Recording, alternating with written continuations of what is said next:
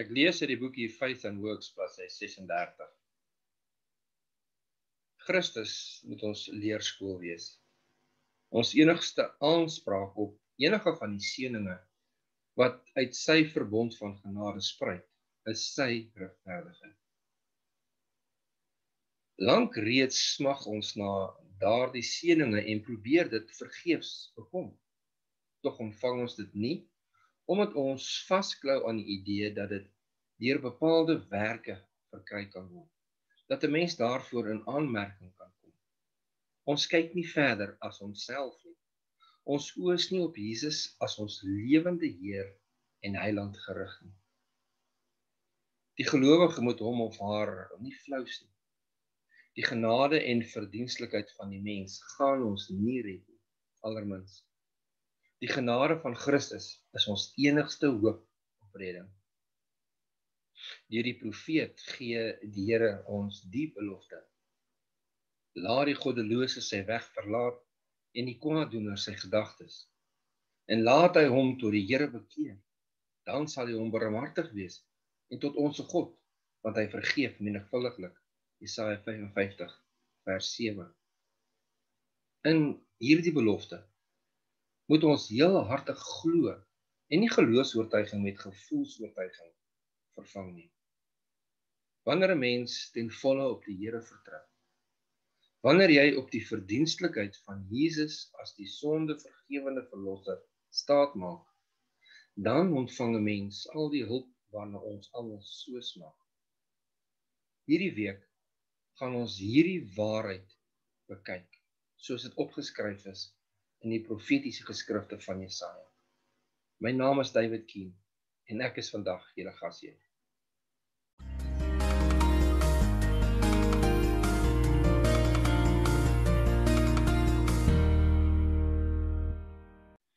Hi, baie welkom by Sabbat Skool les. Ons is al by les 12. Ons het nog net een les oor vir hierdie kwartaal. Ons is klaar met die boek Jesaja. Ons kon natuurlik nie elke hoofstuk weer gegaan het nie. Ons het net 13 lesse gehad. Maar ehm um, ons het baie geleer tot dusver. En les 12 se opskrif is koning van die volke. Ons geheeteks vir hierdie kwartaal is 'n baie kort gedeelte. Dis Jesaja 60 vers 3. Dit lees soos volg: En nasies sal trek na jou lig en konings na jou stralende opgang. Jesaja 60 vers 3. En nasies sal trek na jou lig en konings na jou stralende opgang. Sondag se opskrif is die gevolge van sonde. En hulle vra ons moet kyk na Jesaja hoofstuk 59. Nou hierdie week gaan ons kyk na hoofstukke 59, eh, hoofstuk 60 en hoofstuk 61 van die boek Jesaja. Soos ek reeds gesê het, hierdie is ons tweede laaste les. Ons gaan nog uit volgende week se les oor. So ons is baie vinnig besig om aan die einde van die boek uh Jesaja te beweeg. En Jesaja het uh um 66 hoofstukke. Soveel boeke soos wat daar in die Bybel is, 66. Um ons soos ek weer reeds gesê het, ons gaan nie by elke hoofstuk uitkom nie, maar die belangrike punte word uitgelig hierso vir ons. Um en hierdie week gaan ons gaan ons kyk na onder andere die gevolge van sonde. Ons gaan kyk na wie word vergewe Ons gaan ook kyk na 'n wêreldwye oproep. Ons kyk ook hierdie week na 'n jaar van die welbehaag van die Here en 'n dag van die wraak van ons God. Ehm um, voordat ons natuurlik verder gaan, ehm um, voor ek vergeet, kom ons doen net eers 'n gebed. Hemelse Vader, baie dankie vir die voorreg wat ons het om u woord te open en daarin te leer. Help ons Here asseblief om te verstaan wat die Gees vir ons wil sê. Waar ons gaan kyk na ons verlossing, u groot liefde waar u u self gegee het, Here, omdat ons misluk het, omdat ons nie kan die Here en slegs u dit kan doen. Help ons Here om dit duidelik te sien, u groot liefde wat u vir ons het. Ons bid dit in Jesus se naam. Amen. Goed, les 12. Uh koning van die volke. Ek het reeds ehm um, Sabbatmiddag met julle bespreek deur daai aanhaling te lees uit die boekie ehm um, Faith and Work bladsy 36. En Sondag is die gevolge van sonde. Hulle vra om Jesaja 59 lees. Ehm um, ek gaan net die hele hoofstuk lees nie. Ek gaan net lees tot by vers 14 want ehm um, by maandag gaan ons vers 15 tot 21 lees. So ek gaan nou vir ons Jesaja 59 vers 1 tot by vers 14 lees. En dit lees soos volg: Kyk, die hand van die Here is nie te kort om te help nie en sy oor is nie te swaar om te hoor nie. Maar julle ongeregtighede het 'n skeidsmuur geword tussen julle en julle God en julle sondes het sy aangesig vir julle verberg sodat hy nie hoor nie want julle hande is met bloed bevlek en julle vingers met ongeregtigheid julle lippe spreek leuen julle tong fluister onreg daar is niemand wat aanklaag en geregtigheid en niemand wat 'n regstryd voer in waarheid nie hulle vertrou op nietigheid en spreek valsheid met moeite gaan hulle swanger en baar onheil basiliks eiers broei hulle uit en spinnerakke weef hulle Hy wat van hulle eiers eet moet sterwe en as dit stikkend gedruk word, bars daar 'n ander uit. Hulle weefsels deeg nie vir klere nie en met die voorbrengsels kan niemand hom toemaak nie. Hulle werke is onheilswerke en die daad van geweld is in hulle hande. Hulle voete hardloop om kwaad te doen en is haastig om onskuldige bloed te vergiet. Hulle gedagtes is onheilsgedagtes, verwoesting en verbreeking is in hulle paaie. Die weg van vrede ken hulle nie en dit is geen reg en daar is geen reg in hulle spore nie. Hulle maak hulle paaie krom. Niemand wat daarop loop ken die vrede nie. Daarom is die reg ver van ons en bereik die geregtigheid ons nie. Ons wag op lig, maar kyk daar is duisternis op 'n helder skynsel, maar ons wandel in dikke donkerheid. Ons tas rond langs die muur soos blindes en soos die wat geen oë het nie tas ons rond, ons struikel op die middag soos in die skemeraand. Ons is onder die gesondes soos dooie mense.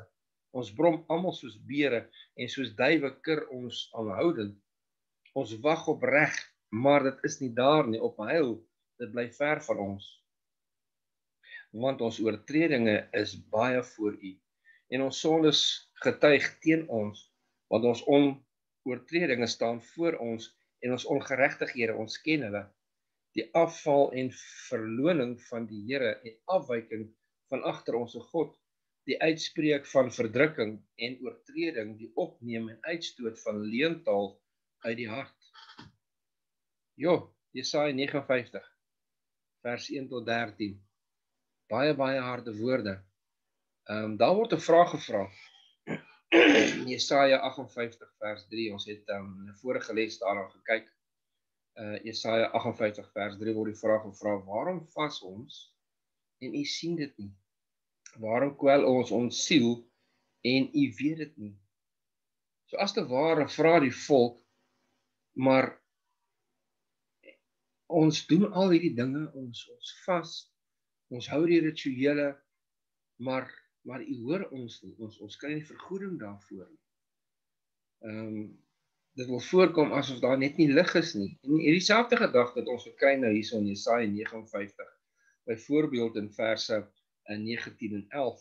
Daarop is die reg ver van ons en bereik die geregtigheid ons nie. Ons wag op lig, maar kyk daar is duisternis op 'n helder skynsel, maar ons wandel in dikke donkerheid. Ons tas rond langs die muur soos blindes en soos die wat geen oë het nie, tas ons rond ons struikel op die middag soos in die skemeraand. Ons is onder die gesondes soos dooie mense. Ons brom almal soos beere en soos duwe kir ons aanhoudend. Ons wag op reg, maar dis nie daar nie op heil. Dit bly ver van ons af. En as te ware wil dit voorkom asof hulle sê, kan hy ons ooit nog red? Ons doen wat hy van ons vra en tog uh hoor hy nie ons gebede nie. Ehm um, is hy nog in staat? Is hy in staat om ons te red? En en Jesaja hoofstuk 59 vers 1 antwoord juist dit. Want vers 1 sê kyk die hand van die Here is nie te kort om te help nie en sy oor is nie te swaar om te hoor nie. Nou wat is dan die probleem? As hulle dan konsys doen wat gedoen moet word, en dit wil voorkom asof die Here dan nie hoor nie asof die Here nie sien nie. Maar die Here sê kyk, die hand van die Here is nie te kort om te help nie en sy oor is nie te swaar om te hoor nie. Vers 2 gee ons die antwoord. maar julle oortredinge het 'n skeidsmuur geword tussen julle en julle God. En julle sondes het sy aangesig vir julle verberg sodat hy nie hoor nie. Nou interessant hierdie woord hoor. Ehm um, waar sê hy hoor nie. Uh is is is die Hebreëse woord shama. En onder andere beteken dit gaan nou Engels lees, maar dis nou die vertaling hoe so hier. Uh to hear intelligently ook obedience consent. Consent is om iets toe te laat, né? Obedient obey proclaim. Ehm um, so hierdie hoor wil dit voorkom.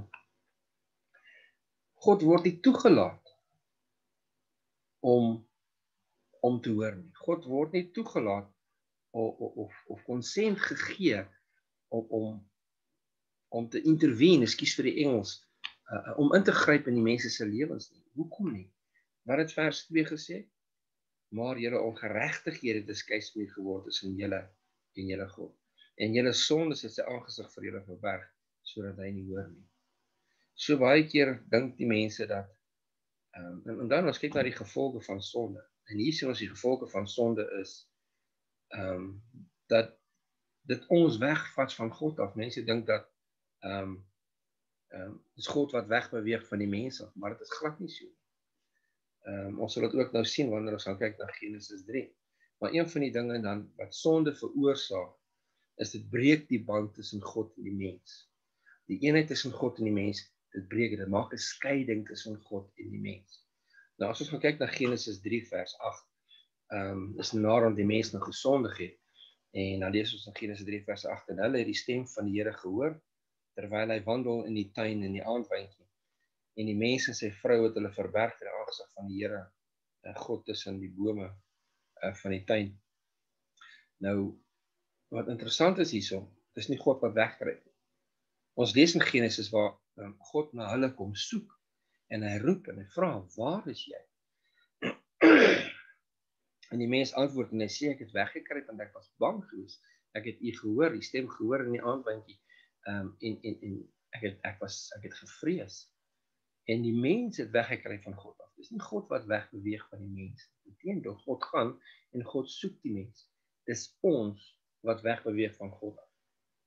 Dit is die gevolg van sonde. Dit vat ons weg van God af. Ehm um, sonde is verwerping van God om weg te draai van die Here af. Ehm um, ongehoorsaamheid. En en sonde het soos wat in Engels sê 'n snowball effek Ehm um, 'n klein sonnetjie bly nooit 'n klein sonnetjie. Dit word altyd groter.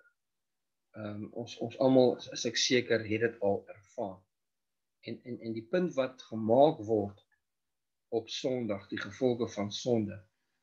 Ehm um, is dit maak skeiding tussen mens en God en dan ehm um, dit word meer die sonde word groter soos ons kan sien Adam en Eva uh, was ongehoorsaam geweest deur die eet van die vrug. Kyk wat reik ons vandag die mensdom. So dit is 'n 'n 'n 'n groeiende siekte kan jy sê. En dan die belangrike punt is God beweeg nie weg van ons af nie. Dis ons wat wegbeweeg van God af. Hier is 'n vraag onder by Sondag. Dit sê sonde skei 'n mens van die Here. Op watter manier het jy al die werklikheid in jou eie geloofslewe beleef? Wat is na jou mening die enigste oplossing vir die probleem. Ehm um, voel vry om u kommentaar te los hier onder in die in die, die kommentaar gedeelte. Ehm um, u kan ook op ons webtuiste gaan, al die skakels is onder en ook ons Facebookblad waar u kommentaar kan lewer op hierdie vraag wat hier onder is. Beweeg maandag toe. Die maandag se opskrif is wie word vergewe? wie word vergewe? En uh, hulle vra ons met Jesaja 59 vers 15 tot 21 lees. Ek gaan dit nou vir ons lees. Ons het ons nou gelees tot by vers 14. Ons gaan nou verder lees. Ja, die waarheid word vermis en wie afwyk van die kwaad word geplunder. Toe die Here dit gesien en dit was verkeerd in sy oë dat daar geen reg was nie. Hy het gesien dat daar niemand was nie en hom verbaas dat niemand tussen beide tree nie. Daarom het sy arm hom gehelp en sy geregtigheid hom ondersteun. Nou let wel, Dis God self wat dan nou hierso ingryp want dit is God se arm. Dit is sy geregtigheid wat hom ondersteun, want die mens doen niks daaromtrent nie. Dis soos wanneer iemand aangerand word en die mense staan net en kyk en hulle doen niks daaromtrent nie. Uh, dis die idee wat hier hier hier oorgebring word en dan sê die Here daarom het sy arm hom gehelp. Vanaf vers 17 en hy het geregtigheid aangetrek soos 'n panser en die helm van heil was op sy hoof en die klere van wraak het hy aangetrek as kleding en hom gewikkel in die ywer soos in 'n mantel. Volgens die dade daarmee ooreenkomstig sal hy vergelde grimmigheid aan sy teestanders vergelding aan sy vyande aan die eilande sal hy die loon vergeld. En hulle sal die naam van die Here vrees van die weste kant af en sy heiligheid van die opgang van die son af, want hy sal hom soos 'n saamgeperste stroom wat die asem van die Here aandryf. Want hy kom soos 'n saamgeperste stroom wat die asem van die Here aandryf. Maar vir Sion kom hy as verlosser en vir die wat in Jakob hulle bekeer van oortreding spreek die Here. Wat my aangaan, Dit is my verbond met hulle, sê die Here. My gees wat op jou is en my woorde wat in jou mond gelê het, wat ek in jou mond gelê het, sal uit jou mond nie wyk nie. En ook nie uit die mond van jou kroos en uit die mond van die kroos van jou kroos, sê die Here, van nou af tot in ewigheid nie. Nou eerstens die vraag vra wie word vergewe? Kom ons draai 'n bietjie daai vraag om en ons vra wie het almal gesonde? Wel, die Bybel is baie baie duidelik. Waar dit vir ons sê, ehm um, en ek lees Romeine 3 vers 9 tot 12, wat dan het ons enige voorrang genaamd nie, want ons het tevore al Jode sowel as Grieke beskuldig dat hulle almal onder die sonde is, nie soos geskrywe is. Luister nou, daar is niemand regverdig nie, selfs nie een nie. Daar is niemand wat verstandig is nie, daar is niemand wat God soek nie. Hulle het almal afgewyk saam met saam het hulle ontaard. Daar is niemand wat goed doen nie. Daar is selfs nie een. So die punt word gemaak dat ons almal het gesondig. Romeine 3 vers 23 sê want almal het gesondig en dit ontbreek hulle aan die heiligheid van God. So in eerste plek almal is skuldig. Almal het gesondig. En ons het verlossing nodig, maar hoe word die mens gered? Romeine 3 vers 21 tot 24 sê vir ons: "Maar nou is die geregtigheid van God geopenbaar sonder die wet, terwyl die wet en die profete daarvan getuig. Die geregtigheid naamlik van God deur die geloof in Jesus Christus vir almal en oor almal wat glo, want daar is geen onderskeid nie. Want almal het gesondig en dit ontbreek aan die heiligheid van God. En hulle word deur sy genade sonder verdienste regverdig deur die verlossing wat in Christus Jesus is. So, in die eerste plek almal het gesondig. En dan hoe word ons gered? Slegs deur geloof in dit wat die Here gedoen het. Dit wat die Here vir ons gedoen het deur die gee van sy seun en geloof in sy seun. Dis al hoe ons gered kan word. Ons eie verdienste kan dit nie doen nie. Ons eie werke kan dit nie doen nie. En ehm um, die Jode het baie baie gesukkel daarmee. Romeine 3 vers 26 lees ons ehm um, sodat hy self regverdig kan wees en regverdig maak wie uit die geloof in Jesus is. So geloof speel 'n baie baie belangrike rol. Maar die geloof waarvan die Nuwe Testament praat, is nie geloof net van om iets te weet of om iets te glo nie. Dit is 'n geloof wat die hart verander. Dis 'n geloof wat 'n uiting het aan werke. En die werke red jou nie. Die werke is net die uitloop van jou geloof die feit dat jy geloof het. Want um, ons moet ook onthou ons word deur ons werke geoordeel. Maar ons kan nie deur ons werke gered word nie. Jakobus 2 vers 18. Ek wil van 17 tot by 19 lees. Dit sê net so ook die geloof as dit geen werke het nie, is sigself dood. Maar iemand sal sê jy het die geloof en ek die werke. Toon jou geloof met jou werke en ek sê jou my werke uh, uh, uit my werke my geloof toon. Jy glo dat God een is. Jy doen goed. Die duiwels glo dit ook en hulle sidder. Maar wil jy weet hoe nietige mens dat die geloof sonder die werke dood is. So werke kan ons nie red nie. Ek meen dit is te laat al probeer ons nou want ons het alreeds almal gesond.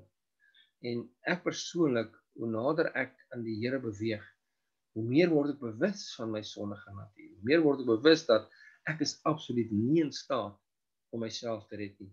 My neiging na die sonde, my my my my my sondige natuur is net te prominent. Ehm um, en en as dit nie vir die genade in in die in die inwonende Heilige Gees was ehm um, wat my op op die pad gehou het nie, was ek al lank al, sjoe, baie baie ver verlore. Ehm um, hulle sê as ons kyk na Romeine 3 vers 20 en 23, so dat lees gelees, maar ons kom ons lees dit weer. Algesien uit die werke van die wet geen vlees vir hom regverdig sal word nie. Want die wet is die kennis van die sonde. So die wet het nog nooit die doel gehad of die vermoë gehad om te red nie. Ou Testament of Nuwe Testament. Die doel van die wet is om ons te wys wat sonde is, om ons die kennis van sonde te gee. Vers 23 sê want almal het gesondig en het ontbreek hulle aan die heiligheid van God.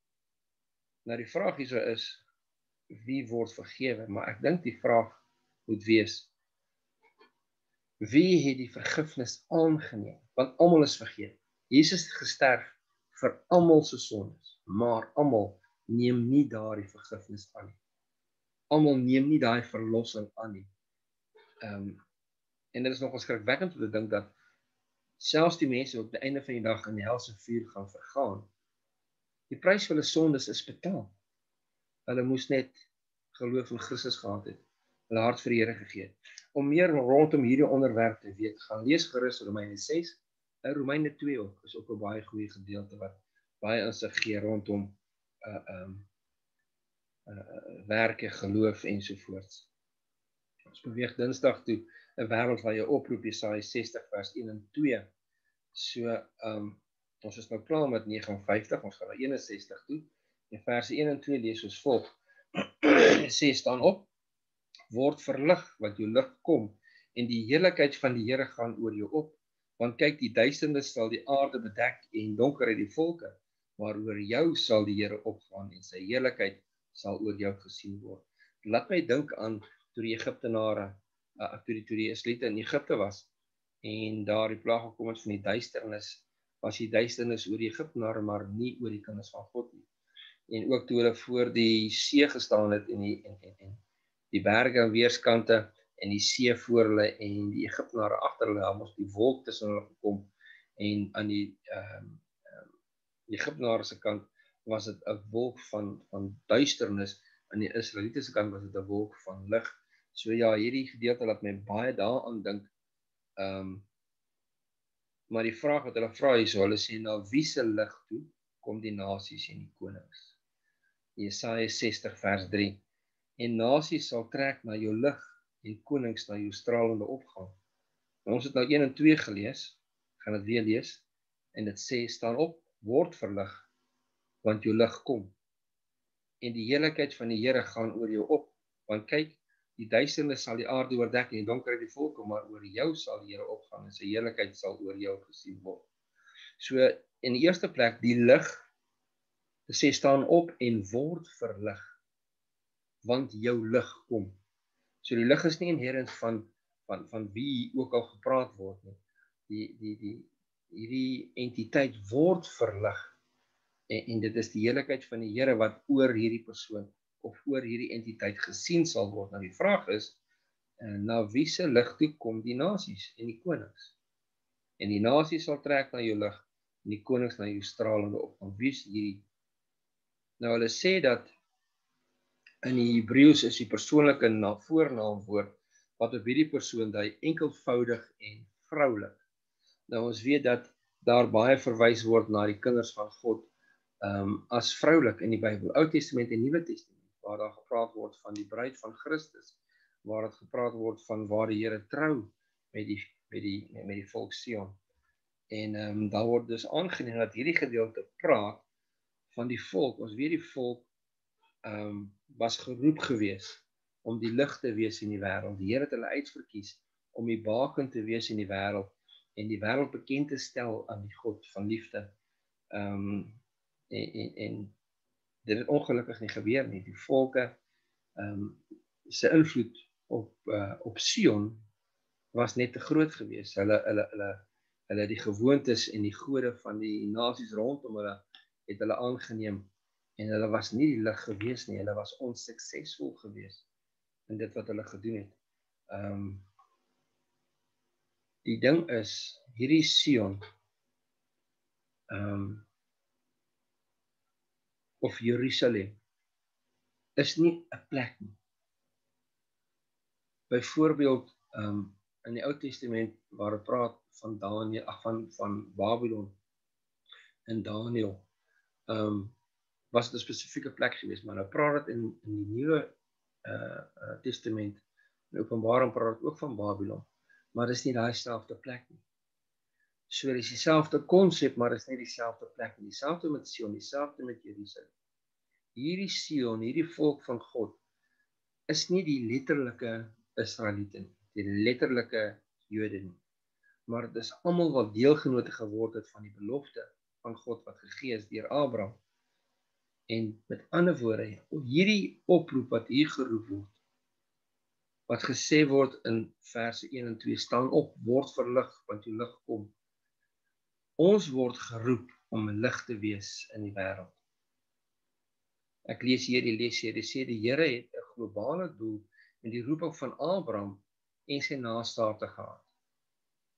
Deur Abraham sou almal op die aarde seëning ontvang. So God se verbond met Abraham was uiteindelik veronderstel om 'n verbond met die mensdom via Abraham te wees. Hy en sy nageslagte sou die kanaal wees waarlangs God sy wil aan die wêreld openbaar. Jesaja probeer om die volk terug te bring na hulle Godgegewe en wêreldwye roeping, na hulle roeping van ouds. As verteenwoordigers van die lewende God was hulle nie net verantwoordelik vir hulle self nie, maar ook vir die mensdom. Hulle was veronderstel om nie Jode soek nie Joodse soekers na die ware God in hulle midde te ontvang. Aangaande die tempel van God het God immers gesê, "My huis sal huis van gebed genoem word vir al die volke." So hierdie oproep is 'n wêreldwye oproep vir alle volke, stamme en nasies. En ongelukkig het die Ou Testamentiese volk het geval daarin. Maar die Here roep ons vandag Nou ons die lig is nie in ons inherent nie. Ons is soos die maan. Die son, die maan skyn omdat dit die son se lig weerkaats en dieselfde met ons. Die lig van Christus moet ons weerkaats en so dan ligte in die wêreld wees. Ek beweeg Woensdag toe. Woensdag is 'n jaar van die welbehaag van die Here. 'n Jaar van die welbehaag van die Here. En ons beweeg nou na Jesaja hoofstuk 61 toe. En hulle vra ons moet kyk na vers 2. Maar ek wil graag vers 1 ook lees. Ehm um, vers 1 sê uh uh die gees van die Here is op my omdat die Here my gesalf het om 'n blye boodskap te bring aan die ootmoediges. Hy het my gestuur om te verbind die gebrokenes van hart, om vir die gevangenes 'n vrylating uit te roep en vir die geboeides opening van die gevangenes, om uit te roep 'n jaar van die welbehaag van die Here en 'n dag van die wraak van ons God om al die treurendes te troos. Hulle vra hierson vers 1. Wie praat hierson? Hierdie gedeelte wat sê ehm um, die gees van die Here is op my om die omdat die Here my gesalf het om 'n blye boodskap te bring aan die ootmoediges het my gestuur om te verbind die gebrokenes van hart en vir die gevangenes vrylating uit te roep en vir die geboeides opening van die gevangenes. Wie is dit wat hier roep? um in Jesaja 42 vers 1 tot 7 lees ons dieselfde taal hierso. En dit lees soos volg: Daar is my knegg wat ek ondersteun. Hierdie knegg in my Bybel is met 'n hoofletter K. Daar is my knegg wat ek ondersteun, my uitverkorene op hoofletter U. In wie se siel en wie my siel welbehaag het. Ek het my gees op hom gelê, hy sal die reg na die nasies uitbring. Hy sal nie skree of uitroep of sy stem op die straat laat hoor nie. Die geknakte riet sal hy nie verbreek en die dowwe lamp het nie uitblus nie. Met getrouheid sal hy die reg uitbring. Hy sal nie dof brand of geknak word totdat hy die reg op die aarde gegrond het gegrond het nie en die eilande wag op sy leer. So sê God, die Here wat die hemele geskape en hulle uitgesprei het, die aarde gespan het saam met wat daaruit kom wat aan die aardbewoners die asem gee en die gees aan die aan wie daarop wandel. Ek, die Here, het u geroep in geregtigheid en ek vat u hand en behoed u en gee u as 'n verbond van die volk, as 'n lig van die nasies om blinde oë te open, om gevangenes uit die kerker uit te lei, en die gevangenes diegene wat in duisternis is. So hier word gepraat in Jesaja 42 van hierdie knegg van die Here wat ehm um, wat praat van die gesalfde, die Messias wat sal kom. En dan word die vraag hier in Jesaja 61 vers 1, is dan hierdie selfde knegg wat praat. Hierdie selfde knegg wat sê dat die gees van die Here is op my.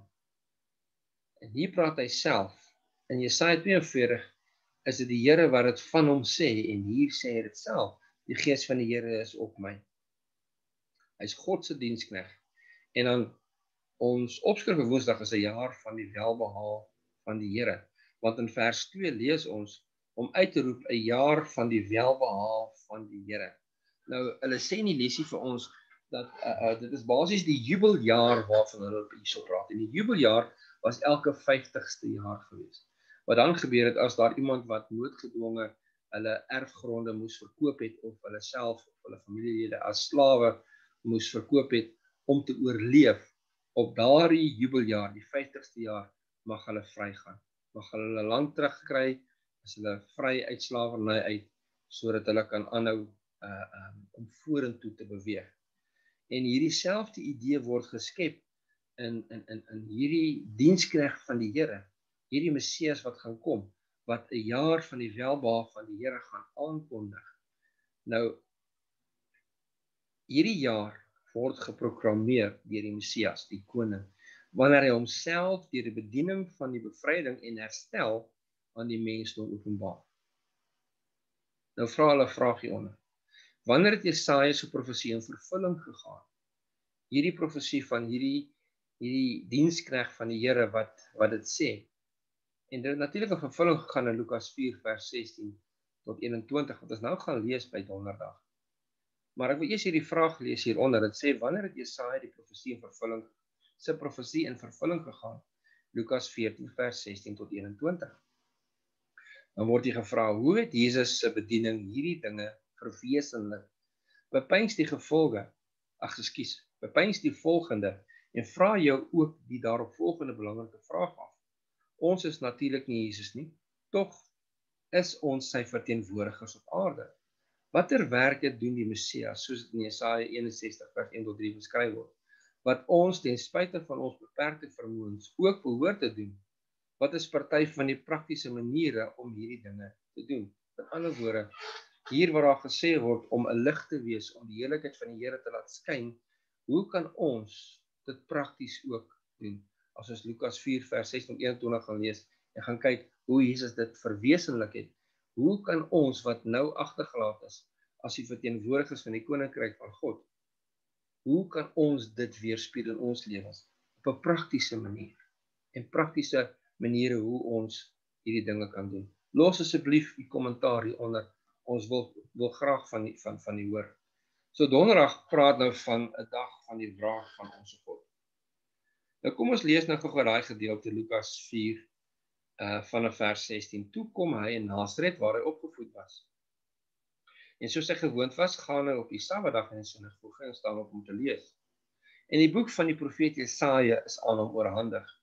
En toe hy die boek oopmaak, kry hy die plek waar geskrywe is: Die gees van die Here is op my, omdat hy my gesalf het om die evangelie aan die armes te bring. Hy het my gestuur om die wat verbrysel van hart is te genees ons weet wat se gedeelte dit is. Dis hierdie gedeelte wat ons nou gelees het, né? Nee? Ehm um, in in in in in Jesaja 61 vers 1. Gaan dan nou weer begin vers 18. Die gees van die Here is op my omdat hy my gesalf het om die evangelie aan die armes te bring. Hy het my gestuur om die wat verbrysel van hart is te genees, om aan gevangenes vrylating te verkondig en aan blindes herstel van gesig, om die wat gebroke is in vryheid weg te stuur om die aangename jaar van die Here aan te kondig. En daar stop Jesus. En nadat hy die boek toegemaak het en aan die dienaar teruggegee het, gaan hy sit en die oog van almal in die sinagoge was op hom gefestig. Toe begin hy vir hulle te sê: "Vandag is hierdie skrif in julle ore vervul." Nou wat het Jesus uitgelaat hierso? Om uit te roep 'n jaar van die welbehaag van die Here, en dan het hy die volgende uitgelaat: "En 'n dag van die wraak van ons God." Hoekom het hy hierdie gedeelte uitgelaat? Dis 'n opskrif van van van donderdag, 'n dag van die wraak van ons God. Ehm um, Jesus het in Matteus 24 uh saam sy disippels in in in die tempel gewees en toe hulle uit die tempel uit kom en be, uh, begin terugbeweeg, wys hulle die groot mure en en die gebou en hulle hulle hulle hulle spog daarmee en Jesus sê vir hulle voorwaar ek sê vir julle, hier gaan nie een keer op die ander gelaat word wat nie afgebreek word nie. Hulle is geskok. Hulle vra hom dadelik maar toe hulle op die, op die berg kom alleen in privaat saam met Jesus vra hulle vir hom wat is die teken van die koms van die vereniging van die wêreld en en, en van die einde van die wêreld. Ek kan nie presies die behoring onthou nie. En Jesus begin met hulle praat oor oor oor die oordeelsdag. Maar Jesus sê baie duidelik vir hulle, julle is hoor van oorlog, gerugte van oorlog, pestes en siektes, maar dis nog nie die einde nie. So Jesus het baie duidelik gewys dat hierdie oordeelsdag in die toekoms lê. En ons weet vandag dat dit in vervulling sal kom met Jesus se wederkoms. Daarom het Jesus net daar gestop en hy het hierdie gedeelte gelees wat sê 'n dag van die wraak van ons God. Hy het gestop tot daarso waar gesê het dat ek het gekom om vrylating te verkondig, om mense uh, uh, uh, uh, te laat vrygaan, om die ellendiges te help, want dit is toe in vervulling gekom. Hy het gekom as Messias om tot daar in vervulling te bring dit wat geskryf is. Maar die dag van die wraak van ons God het hy nie genoem nie, maar dit was nog nie in vervulling nie. Dit het in die toekoms gelê, soos ons nou al reeds gesien het dat dit in vervulling sal kom met Jesus se wederkoms. So hierdie hierdie vers 2 om uit te roep 'n jaar van die welbehaag van die Here en 'n dag van die wraak van ons God om al die treuriges te troos. Hier's drie elemente hierso. In die eerste plek om uit te roep 'n jaar van die welbehaag van die Here. Ehm um, dit is nou waar Jesus gestop het. Maar dis asof die gedeelte wat sê van die wraak van ons saamgesmeld word met die die jubeljaar met die volgende woorde om al die treuriges te troos. So troosting kom as gevolg van die uitroep van die jaar van die welbehaag van die Here en dan vertroosting ook by die dag van die wraak van ons God. So selfs daai dag van God se wraak gaan troosting wees vir die kinders van God, soos ons al reeds gelees het. Hulle vra hierso, hoe versoen 'n mens die idee dat 'n liefdevolle God met een wat ook vergelding beloof? Pas die twee begrippe dan by mekaar of beskou jy vergelding as 'n manifestasie van sy liefde? Indien wel, so verduidelik jou antwoord. Ek het al baie gehoor waar mense sê ehm um, ons kind is vermoor en geregtigheid moet geskied. Ehm um, um, ons ons ons kind as die lewe ontneem of ons geliefdes lewe ontneem deur hierdie persoon en daai persoon moet vergelding neem want dis die regte ding. Dis regverdig. En ek stem nogal saam waar dit vra hierso of beskou jy 'n uh, vergelding as 'n manifestasie van sy liefde. Dis presies wat ek glo dit is. Ehm um, hoe versoen 'n mens die idee van 'n liefdevolle God met een wat ook vergelding beloof? Ek dink dit is net regverdig. As daar daar's daar daar's die vreeslikste dinge aan mense gedoen en die mense gaan net skotvry wegkom daarmee, niks gaan gebeur nie. Dis onregverdig. So die regverdigheid en liefde van God word weer eens daar gekom meneer. Jesus leer vir ons om die wang te draai. Maar ook om die wraak aan God oor te laat want ons weet hy sal regverdig raak neem. Ons beweeg na Vrydag toe. Hier is 'n aanhaling wat ek graag wil lees, uh, 5 Hoofspas 33. Dis hierdie dag van God se wraak kom, die dag waarop dit met mag en mening uitgedeel gaan word. Wie sal in die wederkom staande bly? Teen die tyd dat dit gebeur, het die mense om alreeds so volhard, so verhard geraak dat hulle nie meer op die invluisterende gees sal agslaan. Tog sal God op daardie dag wel tot hulle deurdring waar oortuiging gefaal het, sal God se wraak wel deurdring. Hierdie dag van afrekening met die sondaar lê nie ver in die toekoms nie. Sal die valse herder die oortreding in daardie dag kan beskerm? Kan enige een wat die weë van ongehoorsaamheid saam met menigte ander bewandel het verskoon word? Sal gewildheid of hoeveelheid volgelinge van die verkeerde weë enige een kwytskelm? Dit is die soort vrae wat die roekelose en apatiese onder ons hulself nou moet afvra om te sien waar hulle staan. Dit is baie baie groot en baie harde woorde, maar dit is 'n realiteit. Ehm um, Jesus se wederkoms is 'n feit. Soos wat ons kan sien in Daniël 2 die uh waar die geskiedenis van die wêreld vooraf uitgelê is en ons het vandag in die geskiedenisboek kan sien dat dit feite is dat dit so gebeur. Die laaste gedeelte wat moet gebeur is die rots die wederkoms van die Here. So weet ons as ons kyk na ons geskiedenisboeke alles het so gebeur dat die wederkoms van die Here is voor die deur. En net so ook gaan hierdie vergelding 'n feit wees. Dis nie 'n sprokiesverhaal nie, dit gaan gebeur. Vraag is aan watter kant wil u wees? Ek wens hulle wil 'n lesie doen oor geloof. Ehm um, want ons sien in hierdie lesie dat geloof speel 'n baie baie groot rol. In die sin dat die geloof wat ons ervaar wanneer ons Jesus aanskou op die kruis is baie meer as net om te weet dat hy vir ons gesterf het. Dit verander die hart. En as die hart verander is, dan wil 'n mens nie meer daai verkeerde dinge doen nie. Dan wil 'n mens graag vir die Here lewe.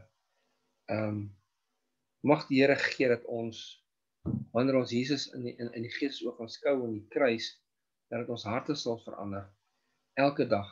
Vra vir bespreking hier's net een vraag.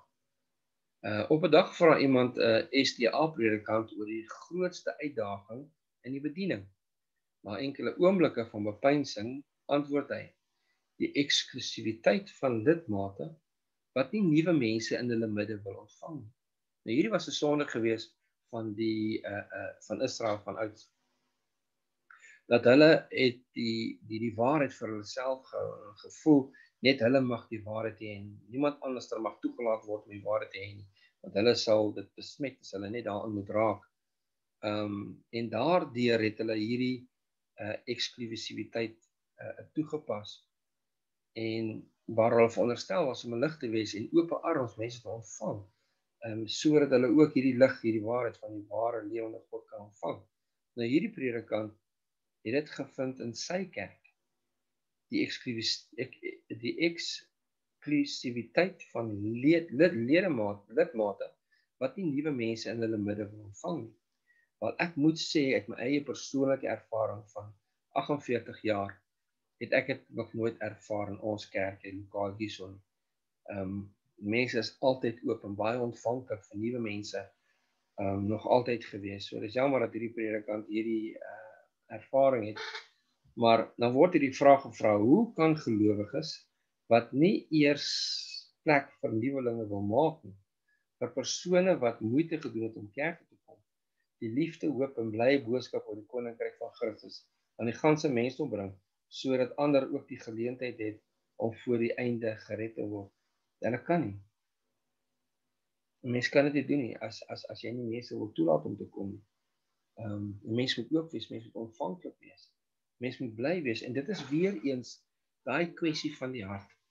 Want 'n mens kan nie ehm um, as as die Here jou hart aangeraak het, as dit wat jy aanskou, sy groot offer jou hart gebreek het. Jy kan nie anderster as om as om te praat daaroor, jy kan nie stil bly nie. Jy wil ander mense daarvan vertel. Jy wil ander mense nooi. So ek sal sê mense wat in daai toestand, daai kondisie is, daar's nie hartsverandering nie. Miskien was daar 'n hartsverandering gewees. Daarom sê dit ook in die Bybel, ek sterf daagliks. Dit moet 'n daaglikse proses wees. Moet ons seker maak ons bly naby die Here. Dat ons nie in hierdie gevaar, in hierdie gevaarlike net vang nie en ander mense weg as soos wat die Here gedoen het van die ewigheid af. Ek lees gou die opsomming. Die Here suiwer die destydse samelewing van ongeregtigheid hierdie rebelle te verwyder. Hy suiwer hulle ook deur die oorblysel van sy volk, diegene wat afstand gedoen het van sonde wat voorheen skeiding tussen hulle en God gebring het, te herstel. Danksy die seëninge wat God se uh, teenwoordigheid bring, word ander nasies na die lewende God en sy volk getrek, sodat eersgenoemdes ook die geproklaameerde jaar van God se welbehaag via die Messias kan beleef. So hierdie week het ons gesien hoe die mensdom misluk het, hoe alles wat hulle dink, alles wat hulle doen, hulle hande is vol bloed, hulle hulle hulle, hulle gedagtes verkeerd, hulle monde is verkeerd en waar die Here op die einde van die dag sê ek my regterhand skuis sal die geregtigheid bring. Ek sal self die geregtigheid bring. En so het dit ook gebeur natuurlik deur uh God wat mens geword het, deur Jesus wat gekom het en kom doen het wat die mens ingeval het. Dankie Vader dat die Here ons so genadig is dat hy ons nie net vergewe nie, maar dat hy ook die heiligmaking proses in ons aanwakker deur die Heilige Gees in omdat ons ons harte aan die Here gee. Hy ons harte nuut maak, nuwe begeertes sodat ons in sy voetspore kan volg en kan leer en kan groei in Christus en ons ook die lig kan wees vir die wêreld daar buite. Nie die wêreld daar buite nie, maar almal rondom ons en om ons, ons gesinne by ons werk, oral waar ons gaan. Mag die Here 'n lig wees wat deur U skyn deur hierdie week. Baie dankie dat U by ons aangesluit het voordat ons tot sien sê kom ons dit af met gebed. Hemelse Vader, baie dankie vir U woord wat ons hierdie week studeer het. Here, waar ons kan sien, ja, Here, ons het gesondig en ons is hopeloos. Maar Here, U gee ons hoop. Ons hoop is in Christus, want slegs U kon dit vir ons doen. En Here, U groot liefde en genade het U op ons uitgestort sodat ons ook kinders van God genoem kan word. Herstel kan word weer terug in die beeld van God. Here, hou ons asseblief getrou in hierdie nuwe week. Ons ligte sal wees daar buite. Help ons Here asseblief om te groei in Christus elke dag. Ons bid dit in Jesus se naam. Amen. Tot volgende week. God se ryke seën.